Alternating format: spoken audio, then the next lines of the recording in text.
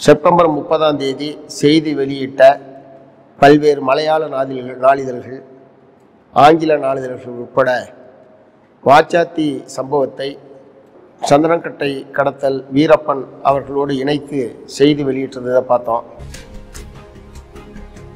வீரப்பனுக்கும் வாச்சாத்தி சம்பவத்துக்கும் தீர்ப்பில் இருக்கிற விசேஷம் என்னென்னா வழக்கமாக மேல்முறையீட்டு வழக்கில் கீழே இந்த மாதிரி கும்பலாக சேர்ந்து குற்றம் செய்யக்கூடிய நிகழ்வுகளில் குற்றவாளிகளில் சிலரை விடுவிப்பதும் சிலருக்கு தண்டனையை குறைப்பதும் சிலருக்கு கூடுதல் தண்டனை ஆக்குவது உயர்த்துவது என்கிற முறையில் தான் வழக்கமாக தீர்ப்புகள் வழங்கப்படும்.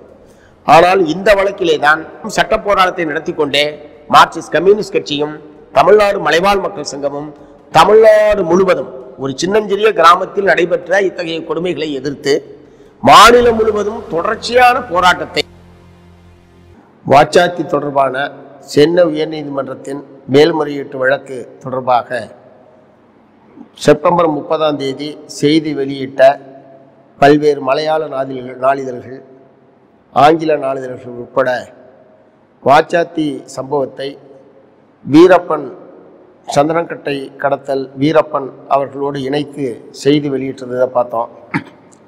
இதன் மூலமாக இந்த வீடியோ மூலமாக நான் சொல்ல விரும்புகிறது வீரப்பனுக்கும் வாச்சாத்தி சம்பவத்துக்கும் எந்த விதமான சம்பந்தமும் இல்லை. இதை நூறு முறை சொன்னதற்கு பிறகு மீண்டும் மீண்டும் ஊடகங்கள் எங்கிருந்து இந்த செய்தியை எடுக்கிறார்கள் என்றே தெரியவில்லை. வாச்சாத்தி என்பது தருமபுரி மாவட்டம் அரூருக்கு அரூர் தாலுகா சித்தேரிமலை அடிவாரத்தில் உள்ள சமவெளியில் உள்ள ஒரு பழங்குடி மக்களுடைய கிராமம். தொண்ணூற்றி ஒன்பது சதமானம் பழங்குடி மக்கள் வசிக்கக்கூடிய கிராமம். ஒரு சிலர் மற்ற சமுதாயத்தை சார்ந்தவர்கள் வாழ்கிறார்கள். ஆகவே இந்த கிராமத்தில் தொண்ணூற்றி ரெண்டாம் ஆண்டு ஜூன் மாதம் இருபது இருபத்தொன்று இருபத்தி ரெண்டு மூன்று நாட்கள் நடைபெற்ற அந்த சம்பவத்துக்கும் வீரப்பன் தேடுதல் வேட்டையில் ஈடுபட்ட சிறப்பு அதிரடிப்படைக்கும் எந்த சம்பந்தமும் இல்லை என்பதை நான் முதல்ல தெரிவிக்க விரும்புகிறேன் இந்த சம்பவம் நடைபெற்று ஏறத்தாழ இருபத்தைந்து நாட்கள் கழித்து தான் ஜூலை மாதம் பதினாலாம் தேதி நாங்கள் இந்த சம்பவம் நடைபெற்றதை கேள்விப்பட்டு அந்த கிராமத்துக்கு போனோம். அநேகமாக இந்த இருபத்தைந்து நாட்கள் இடைவெளியில் இப்படி ஒரு கிராமம் முற்றிலும் சூறையாடப்பட்டிருக்கிறது. கிராமத்து மக்கள் இருநூறுக்கும் மேற்பட்டவர்கள் சிறையில் இருக்கிறார்கள். பாலியல் வன்கொடுமை என்பது நடைபெற்றுள்ளது. என்கிற விஷயம் எதுவுமே வெளி உலகத்துக்கு தெரியாமல் தமிழக அரசும் மாவட்ட நிர்வாகமும் பார்த்து கொண்டது. ஏன் இதை மாவட்ட நிர்வாகம் தமிழக அரசும் பார்த்துக்கிட்டது நான் சொல்கிறேன்னா சம்பவம் நடந்த மறுநாளே வனத்துறை அமைச்சர் அரூருக்கு சென்று வனத்துறை அதிகாரிகளோடு மாவட்ட அதிகாரிகளோடு ஒரு கலந்துரையாடலை நடத்தியிருக்கிறார். அதற்கு பிறகும் உடனடியாக வேறு சில அமைப்புகள் மாவட்ட ஆட்சித்தலைவரிடத்திலே மனு கொடுத்திருக்கிறார்கள். ஆனால் இவ்வளவையும் அமைச்சர் வ- வருகிறார் மாவட்ட ஆட்சித்தலைவரிடம் மனு கொடுக்கப்படுகிறது கிராம பக்கத்து கிராம மக்கள் போய் மனு கொடுக்கிறார்கள். இவ்வளவு நடந்ததற்கு பிறகும் எந்த செய்தியும் வெளி உலகத்துக்கு தெரியாமல் மறைக்கிற செயலில் அரசும் மாவட்ட நிர்வாகம் ஈடுபட்டது. நாங்கள் வந்து பதினாலாம் தேதி ஜூலை பதினாலாம் தேதி கிராமத்துக்கு போய் கிராமத்தில் நடந்த அட்டூழியங்களை எல்லாம் பார்த்துவிட்டு சிறையில் இருந்த ஆண்கள் சிறை பெண்கள் சிறை சிறையில் இருந்த இந்த கிராமத்து மக்களை எல்லாம் பார்த்து விவரங்களை கேட்டறிந்து கொண்டு அன்று நள்ளிரவு பன்னிரெண்டு மணிக்கு மேல் மாவட்ட ஆட்சித்தலைவரை அவருடைய பங்களாவில் சந்தித்து எழுப்பி கட்டாயப்படுத்தி எழுப்பி அவரிடம் நாங்கள் இந்த மாதிரி இந்த பிரச்சனை வாச்சாத்தி கொடுமைகள் சம்பந்தமாக உங்களிடத்தில் மனு கொடுப்பதற்காக வந்திருக்கிறோம் என்று சொன்னபோது இப்படி ஒரு சம்பவம் நடந்திருக்கிறதே எனக்கு தெரியாது. இந்த சம்பவம் சம்பந்தமாக என்கிட்ட வந்து முதல்ல தெரிவிக்கிறது நீங்கள் தான் எந்த அதிகாரிகளுமே எங்கள்கிட்ட இப்படி ஒரு சம்பவம் நடந்திருக்கிறதே எனக்கு தெரிவிக்கல. கட்டாயம் நான் வந்து நடவடிக்கிறேன் நடவடிக்கை எடுக்கிறேன் என்று சொல்லி அவர் வந்து சொன்னார். அப்புறம் தான் எங்களுக்கு தெரிஞ்சது இவர் வந்து முழு பூசணிக்காக சோத்தில் மறைக்கிறார் என்பது எங்களுக்கு அப்போ தான் தெரிஞ்சது. அதுக்கு பிறகு தான் தெரிஞ்சது. ஏனென்றால் அதற்கு முன்பாகவே இந்த மாதிரியான அமைச்சர்கள் அமைச்சர் வருகை மற்ற அமைப்புகளுடைய மனுக்கள் கொடுக்கிறது போன்ற பல சம்பவங்கள் என்பது நடைபெற்றிருக்கிறது. ஆகவே இப்போது இருபத்தி ச ரெண்டாயிரத்தி இருபத்தி மூணு செப்டம்பர் இருபத்தி ஒன்பது சென்னை உயர்நீதிமன்ற நீதியரசர் திரு பி. வேல்முருகன் வழங்கியுள்ள அந்த தீர்ப்பில் மாவட்ட ஆட்சித்தலைவர் தமிழ்நாடு அரசாங்கம் இப்படி சம்பவங்கள் நடந்ததை தெரிந்து கொண்டே நடவடிக்கை எடுக்காமல் மூடி மறைத்தது என்பதை இப்போது தன்னுடைய தீர்ப்பிலே அவர் பதிவு செய்திருக்கிறார். இந்த தீர்ப்பினுடைய முக்கியத்துவம் என்னென்னா ஒன்று ரெண்டாயிரத்தி பதினொன்று செப்டம்பர் மாதம் இருபத்தி ஒன்பதாம் தேதி தருமபுரி மாவட்ட அமர்வு நீதிமன்றம் தீர்ப்பை வழங்கியது. இந்த தீர்ப்பு பதினொன்று இந்த பத்தொன்பது ஆண்டுகளுக்கு இடையில் குற்றம் சுமத்தப்பட்டிருந்த இருநூத்தி அறுபத்தொம்பது பேரில் ஐம்பத்தி நாலு பேர் மரணமடைந்து விட்டார்கள்.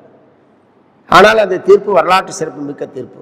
ஏன் வரலாற்று சிறப்புமிக்க தீர்ப்பு என்று சொன்னால் குற்றம் சாட்டப்பட்டிருந்த அனைவருமே குற்றவாளிகள். இறந்து போயிருந்தாலும் அவர்கள் குற்றவாளிகள் தான். உயிரோடு இருக்கிற அனைவருக்கும் தண்டனை. அதை விட முக்கியமானது அனைவருக்கும் தண்டனை என்பது மட்டுமல்ல உலக வரலாற்றில் ஒரு சீருடை பணியில் யூனிஃபார்ம் சர்வீஸில் இருக்கக்கூடிய காவல்துறை வனத்துறையை சார்ந்தவர்கள் இவ்வளவு பெரும் எண்ணிக்கையில் தண்டிக்கப்பட்ட வேறொரு வழக்கு என்பது இதுவரை உலகத்தில் இல்லை. ஆகவே அந்த வகையில் தருமபுரி மாவட்ட அமர்வு நீர் நீதிமன்றத்தினுடைய அந்த தீர்ப்பு ஒரு வரலாற்று சிறப்புமிக்க தீர்ப்பு என்பதை முதலில் நான் குறிப்பிட விரும்புகிறேன். அந்த தீர்ப்பை எதிர்த்துத்தான் குற்றவாளிகள் தரப்பில் சென்னை உயர்நீதிமன்றத்தில் மேல்முறையீடு செய்யப்பட்டு ஏறத்தாழ பனிரெண்டு ஆண்டுகள் கழித்து கடந்த செப்டம்பர் இருபத்தி ஒன்பதாம் தேதி நீதி தீர்ப்பு என்பது வழங்கப்பட்டிருக்கிறது. இந்த தீர்ப்பில் இருக்கிற விசேஷம் என்னென்னா வழக்கமாக மேல்முறையீட்டு வழக்கில் கீழே இந்த மாதிரி கும்பலாக சேர்ந்து குற்றம் செய்யக்கூடிய நிகழ்வுகளில் குற்றவாளிகளில் சிலரை விடுவிப்பதும் சிலருக்கு தண்டனையை குறைப்பதும் சிலருக்கு கூடுதல் தண்டனை ஆக்குவது உயர்த்துவது என்கிற முறையில் தான் வழக்கமாக தீர்ப்புகள் வழங்கப்படும். ஆனால் இந்த வழக்கிலே தான் கீழமை நீதிமன்றம் தண்டனை வழங்கியிருக்கிற எல்லா குற்றவாளிகளுக்குமே தண்டனையை உறுதி செய்து அனைத்து மேல்முறையீட்டு மனுக்களையும் நீதிபதி டிஸ்மிஸ் செய்துள்ளார். ஒருவர் கூட தப்பிக்க முடியாதுன்றது ஒன்று அதில் இடையில ஒருவர் இறந்து போயிருக்கிறார். ஆகவே இருநூத்தி பதினாலு பேரும் உடனடியாக கைது செய்யப்பட்டு அவர்கள் தண்டனை அறிவித்த காலம் போக மீதி காலம் சிறையில் கழிக்க வேண்டும் என்கிற முறையில் நீதிபதிகள் உத்தரவிட்டுள்ளார். ரெண்டாவது முக்கியமான விஷயம் எந்த குற்றப்பத்திரிகையிலேயோ அல்லது கீழமை நீதிமன்றத்திலேயோ குறிப்பிடப்படாத மாவ அப்போதைய மாவட்ட ஆட்சித்தலைவர் தசரதன் ஐஏஎஸ் அப்போதைய மாவட்ட காவல் கண்காணிப்பாளர் ராமானுஜம் ஐபிஎஸ் அப்போதைய மாவட்ட வன அலுவலர் எல் நாகன் இந்த மூன்று பேர் மீதும் கடுமையான நடவடிக்கை எடுக்க வேண்டும் என்று இந்த தீர்ப்பிலே குறிப்பிடப்பட்டுள்ளது. ஏனென்றால் இவர்கள் எல்லோரும் சேர்ந்துதான் மக்களை பாதுகாக்க வேண்டிய இவர்கள் அனைவரும் சேர்ந்து குற்றவாளிகளை பாதுகாக்கவும் பாதிக்கப்பட்ட மக்களுக்கு எதிராகவும் செயல்பட்டிருக்கிறார்கள் என்று சொல்லி ஆகவே இவர்கள் கடுமையாக தண்டிக்கப்பட வேண்டும் என்று அதில் குறிப்பிடப்பட்டது ரொம்ப முக்கியமான ஒரு விஷயமாக நாங்கள் வந்து பார்க்குறோம். ஏன்னா அப்பீல் வழக்குகளில் அப்பீல் என்ன வந்திருக்குதோ அதன் மீது தான் கருத்து சொல்வது நீதிமன்றங்கள் அல்லது நீதிபதிகள் தீர்ப்பளிப்பது என்பது வழக்கம். அதை தாண்டி ஒட்டுமொத்த வழக்கினுடைய சாரத்தையும் பார்த்து இதிலே மாவட்ட ஆட்சித்தலைவர் மாவட்ட காவல் கண்காணிப்பாளர் மாவட்ட வன அலுவலர்களுக்கு எத்தகைய பங்கிருக்கிறது என்பதை அலசி ஆராய்ந்து இவர்களும் தண்டனை பெற வேண்டியவர்கள் என்கிற முறையில் நீதிபதி வேல்முருகன் அவர்கள் தீர்ப்பளிப்பது என்பது தீர்ப்பளித்திருப்பது என்பது மிக மிக முக்கியமான ஒரு விஷயம். மூணாவது இந்த தீர்ப்பளிப்பதற்கு முன்பாகவே மார்ச் மாதம் நாலாம் தேதி தீர்ப்புக்காக வழக்கை ஒத்திவைத்துவிட்டு மார்ச் மாதம் நாலாம் தேதி நீதிபதி அவர்கள் நேரடியாக வாச்சாத்தி கிராமத்துக்கு வந்திருந்தார். வழக்கமாக இப்படி உயர்நீதிமன்ற நீதிபதிகள் மேல்முறையீட்டு வழக்கில் சம்பவ இடத்தை பார்வையிடுவது நேரடியாக குற்றம் நடந்த இடங்களுக்கு வந்து செல்வது என்பதெல்லாம் வழக்கமாக இல்லாத ஒரு நடைமுறை. ஏற்கனவே கோவில்ராஜ் கொலை வழக்கில் திருச்செங்கோட்டில் அந்த சம்பவம் நடந்த மலைக்கோயிலுக்கு சென்னை உயர்நீதிமன்ற நீதிபதிகள் இருவரும் நேரடியாக சென்று அந்த சம்பவம் நடந்த இடங்களை பார்வையிட்டு வந்த ஒரு முன்னுதாரணம் என்பது ஏற்கனவே சென்னை உயர்நீதிமன்றத்தில் இருக்கிறது. அதற்கு அடுத்ததாக திரு வேல்முருகன் அவர்கள்தான் இப்போது வாச்சாத்தி கிராமத்திற்கு மார்ச் நாலாம் தேதி நேரடியாக வந்து அந்த கிராமத்தையும் பாலியல் வன்கொடுமை நடைபெற்ற ஏரி சந்தனக்கட்டை எடுக்கப்பட்ட இடம் எந்த வழியாக அதிகாரிகள்லாம் வந்தார்கள் போன்ற அனைத்து இடங்களையும் நேரடியாக பார்வையிட்டார் என்பதும் இந்த தீர்ப்பிலே ஒரு செல்வாக்கு செலுத்தியிருக்கும் என்று நான் நம்புகிறேன். ஆகவே இந்த தீர்ப்பு என்பது இந்த மாவட்ட அதிகாரிகள் மூன்று பேரும் கடுமையாக தண்டிக்கப்பட வேண்டும் என்பது மிக முக்கியமான ஒரு விஷயம். இப்போ மூன்று பேருமே ஓய்வு பெற்று விட்டார்கள்.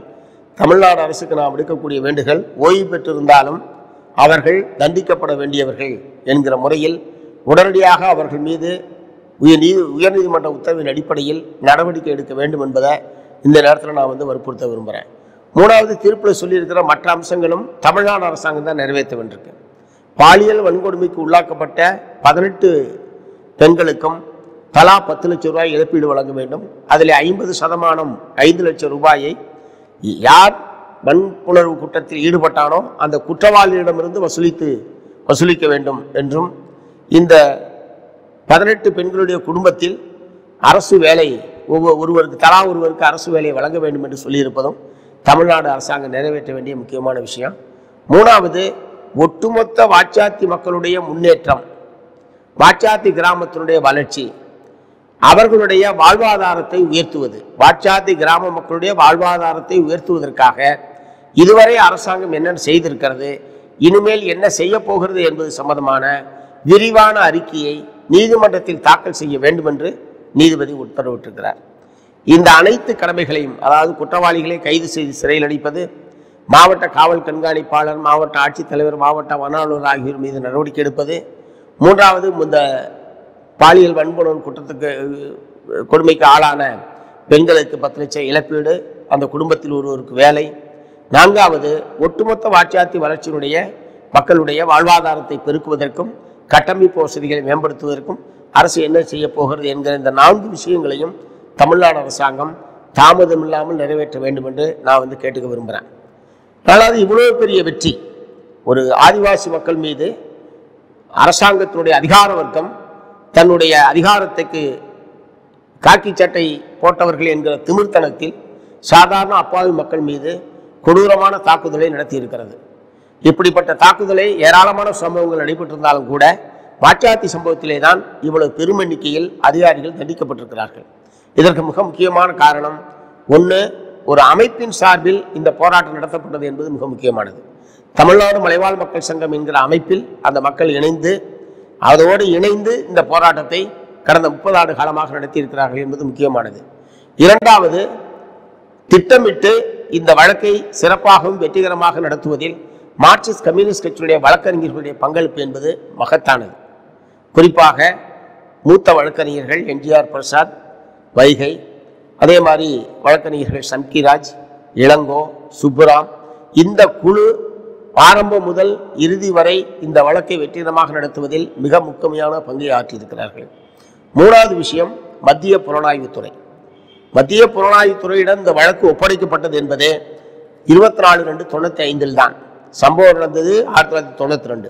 சிபிஐ கிட்ட வழக்கு ஒப்படைக்கப்படுவது என்பது ஆயிரத்தி தொள்ளாயிரத்தி தொண்ணூற்றி அஞ்சில். ஏறத்தாழ மூன்று ஆண்டுகள் கழித்து தான் வழக்கே அவர்களிடம் ஒப்படைக்கப்படுகிறது. ஆனால் டிஎஸ்பி ஜெகநாதன் தலைமையிலான குழுவினர் மிக திறமையாக புலனாய்வு செய்து நம்மால் எழுப்பப்பட்டிருந்த எல்லா விதமான குற்றங்களையும் நிரூபித்ததும் மூன்றாண்டுகள் கழித்து வழக்கை எடுத்துக்கொண்டிருந்தால் கூட பாலியல் வன்கொடுமை உள்ளிட்ட குற்றங்களை நிரூபித்திருப்பதும் மிக முக்கியமான ஒரு விஷயம். அதனுடைய பப்ளிக் ப்ராசிக்யூட்டராக இருந்த திரு ஜெயலா ஜெயபாலன் அவர்களுடைய பணியும் இந்த வழக்கிலே இப்படிப்பட்ட வெற்றி கிடைப்பதற்கு அடிப்படை காரணமாக அமைந்திருக்கிறது என்பதை நான் சொல்ல விரும்புகிறேன் இவை எல்லாவற்றை விட மேலாக ஒரு பக்கம் சட்ட போராட்டத்தை நடத்தி கொண்டே மார்க்சிஸ்ட் கம்யூனிஸ்ட் கட்சியும் தமிழ்நாடு மலைவாழ் மக்கள் சங்கமும் தமிழ்நாடு முழுவதும் ஒரு சின்னஞ்சிறிய கிராமத்தில் நடைபெற்ற இத்தகைய கொடுமைகளை எதிர்த்து மாநிலம் முழுவதும் தொடர்ச்சியான போராட்டத்தை ஆளுகிற அரசாங்கத்துக்கு நிர்பந்தத்தை கொடுக்கக்கூடிய வகையிலும் இந்த பாதிக்கப்பட்ட மக்களுக்கு ஆதரவான ஒரு கருத்தாக்கத்தை தமிழக மக்கள் மத்தியில் உருவாக்குகிற வகையிலேயும் முப்பது ஆண்டு காலம் இடைவிடாத தொடர்ந்த போராட்டத்தை மக்கள் மத்தியில் நடத்தியிருப்பதும் சட்டமன்றம் நாடாளுமன்றம் உட்பட எல்லா மட்டத்திலும் இந்த பிரச்சனையை எடுத்து சென்ற சென்றதும் மிக முக்கியமான காரணங்கள் என்று நான் சொல்ல விரும்புகிறேன் இவை எல்லாவற்றை விட மேலாக இத்தகைய பாதிக்கப்பட்ட மக்களுக்கு ஒரு நிவாரணத்தையும் நீதியையும் தர வேண்டும் என்கிற நோக்கத்தோடு இந்த வழக்கு வழக்கை விசாரித்த நீதிபதிகள் தீர்ப்பு வழங்கிய நீதிபதிகள் நல்ல நீதிபதிகள் நேர்மையான நீதிபதிகளிடம் இந்த வழக்கு சென்றது முக்கியமான காரணம். ஏனென்றால் இன்றைக்கு நீதித்துறை எவ்வளவு தூரத்துக்கு மோசமாகவும் ஆளுகிற கட்சிகளுக்கு சாதகமாகவும் அல்லது இந்துத்துவா கருத்துக்களுக்கு ஆதரவாகவும் பல்வேறு நீதிபதிகள் செயல்பட்டு கொண்டிருக்கக்கூடிய காலகட்டத்தில் நேர்மையாகவும் நியாயமாகவும் இந்த தீர்ப்பை வழங்க வேண்டும் என்கிற முறையில் விசாரணை நீதிமன்றத்தில் இந்த சாட்சிகளை விசாரணை செய்த மதிப்பிற்குரிய நீதிபதி அசோக்குமார் அதை போலவே தீர்ப்பு வழங்கிய தருமபுரி மாவட்ட அமர்வு நீதிமன்றத்தில் தீர்ப்பு வழங்கிய நீதிபதி குமரகுருபன் அவர்கள் இப்போது மேல்முறையீட்டு வழக்கில் தீர்ப்பு வழங்கியிருக்கக்கூடிய நீதியரசர் பி. வேல்முருகன் அவர்கள் இப்படிப்பட்ட நல்ல நீதிபதிகளிடம் இந்த வழக்கு சென்றதும் இந்த மகத்தான வெற்றிக்கு அடு இவை- இவை அனைத்தும் சேர்ந்துதான் இந்த மகத்தான வெற்றி ஈட்டுவதற்கு காரணம் என்பதை நான் மெத்த பணிவோடு தெரிவித்துக் கொள்ள விரும்புகிறேன். இந்த தீர்ப்பின் மூலமாக அதிகார வர்க்கத்திற்கு ஒரு மிகப்பெரிய எச்சரிக்கையை நாம் விடு நாம் விடுத்திருக்கிறோம். எவ்வளவு உயர் பொறுப்பில் இருந்தாலும் ச- மக்கள் மீது இத்தகைய கொடூரமான தாக்குதலை மனித உரிமை மீறலில் ஈடுபட்டால் நம்முடைய தொடர் போராட்டத்தின் மூலமாக முறையான நடவடிக்கை எடுப்பதன் மூலமாக அவர்களை தண்டனைக்கு உள்ளாக்க முடியும் என்பதற்கு பாச்சாத்தி வழக்கு ஒரு மிகச்சிறந்த உதாரணம். அதே மாதிரி இவ்வளவு பெரிய அதிகார வர்க்கத்தை எதிர்த்து அந்த வாச்சாத்தி கிராம மக்கள் உறுதியாகவும் தைரியமாகவும் மிரட்டலை மீறி ஆசை வார்த்தைகளுக்கு மயங்காமல் அச்சுறுத்தலுக்கு பயப்படாமல் எல்லாவற்றையும் மீறி உறுதியாக நீதிமன்றத்தில் சாட்சியம் அளித்ததும் அடையாள அணிவகுப்பில் பாலியல் வன்கொடுமையில் ஈடுபட்ட குற்றவாளிகளை தைரியமாக அடையாளம் காண்பித்ததும் அந்த மக்களுடைய தைரியமும் தன்னம்பிக்கையும் இந்த போராட்ட இந்த வழக்கினுடைய வெற்றிக்கு மிக மிக அடிப்படை என்பதை நான் சொல்ல விரும்புகிறேன் இப்படி ஒரு கூட்டு உழைப்பின் மூலமாக இந்த எல்லோருடைய பங்களிப்பின் மூலமாகத்தான் ஒரு மாபெரும் வெற்றியை நாம் ஈட்டியிருக்கிறோம். இந்த தீர்ப்பின் மூலமாக தமிழகத்துக்கு அதிகார வர்க்கத்திற்கு ஆட்சியாளர்களுக்கு தெரிவிக்க விரும்புவது இனிமேலாவது இப்படிப்பட்ட சம்பவங்கள் தமிழ்நாட்டில் நடைபெறாமல் பார்த்து கொள்ள வேண்டியது அதிகார வர்க்கம் அதனுடைய உயர் அதிகாரிகள் ஆட்சியாளர்களுக்கு ஆட்சியாளர்கள் பார்த்து கொள்ள வேண்டும் என்பது நம்முடைய வேண்டுகோள். இனிமேல் இதுதான் வாச்சாத்தி சம்பவம் தான் இப்படிப்பட்ட கொடூரமான தாக்குதலுக்கான கடைசி உதாரணமாக இருக்க வேண்டும் என்கிற முறையில் அதிகாரிகளே அதிகார வர்க்கத்தை அவர்களுக்கு தக்க முறையில் அவர்கள் தயார் செய்வது என்பது ஆட்சியாளர்களுடைய கடமை. இந்த தீர்ப்பில் இருக்கக்கூடிய எல்லா அம்சங்களையும் உடனடியாக நடைமுறைப்படுத்துவதற்குரிய வேலைகளை தமிழ்நாடு அரசாங்கம் மேற்கொள்ள வேண்டும். ஏற்கனவே முப்பது ஆண்டுகளுக்கு மேலாக அந்த மக்கள் நீதிக்காக காத்திருந்திருக்கிறார்கள். இப்போது மேல்முறையீட்டு வழக்கில் இறுதியான தீர்ப்பு வந்திருக்கக்கூடிய நிலையில் உடனடியாக இதை நடைமுறைப்படுத்துவது என்பதுதான் தமிழ்நாடு அரசாங்கம் அந்த மக்களுக்கு செய்யக்கூடிய உண்மையான நிவாரண உண்மையான க- காரணம் உண்மையான நிலையாக இருக்க முடியும். ஆகவே அதை தாமதமில்லாமல் செய்ய வேண்டும் என்று தமிழ்நாடு மலைவாழ் மக்கள் சங்கத்தின் சார்பில் கேட்டுக்கொள்கிறேன்.